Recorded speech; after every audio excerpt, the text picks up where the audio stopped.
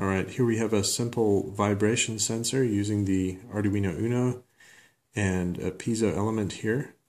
And what we are doing, basically, we're running the piezo uh, element signal um, across a 1 meg load resistor.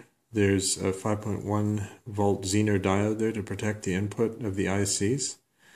Um, the piezo element, incidentally, has um, a weight on top of it. I just epoxied a, a fishing weight on here I found it really improves the sensitivity of it. Um, so depending on what kind of vibration you want to sense, you may want to do that.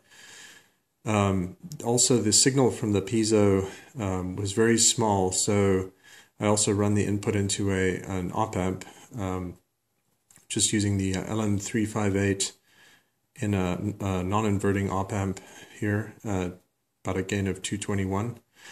Uh, the other side of the LM358 I'm using as a comparator, and uh, setting the threshold with this uh, potentiometer here. And uh, the output of the comparator is driving right into the Arduino. Um, when uh, vibration is sensed, the output, um, the Arduino outputs a high to the this separate piezo buzzer here, uh, just to let us know that vibration has been sensed. So if we actually just knock the table gently, you can hear it go.